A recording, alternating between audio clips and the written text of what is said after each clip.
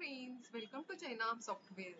So, in this video, we are going to see how we can disburse loan while using the multiple mode of payment. So, just have a look. So, from the search bar, I will search one customer, let's say F-1.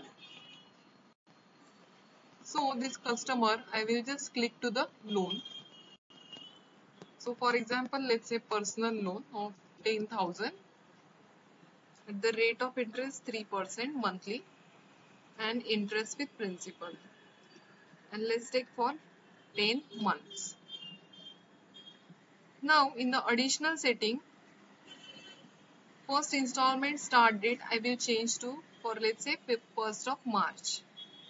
And just calculate. So I will just save this loan.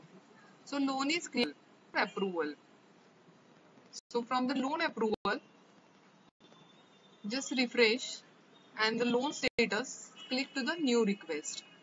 So from here, click to the customer and just approve the loan and change the status.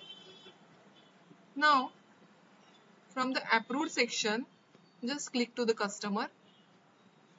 So here in the below option, you can see the multiple payment option.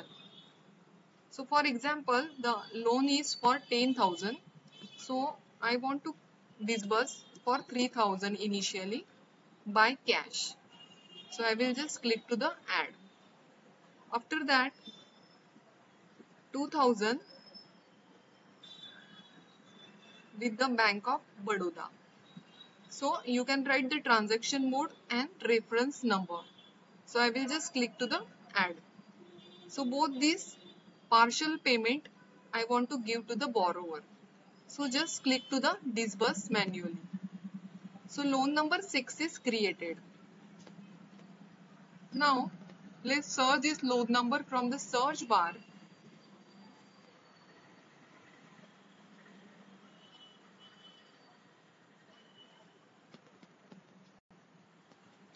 So here you can see this customer loan has been given so let's let's go and check the passbook.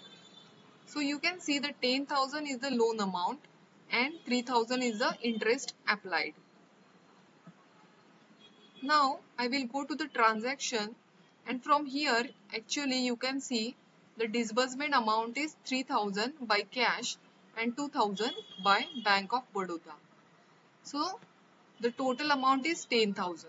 So after some time the after this is 5000 disbursement has been done. So still 5000 is remaining.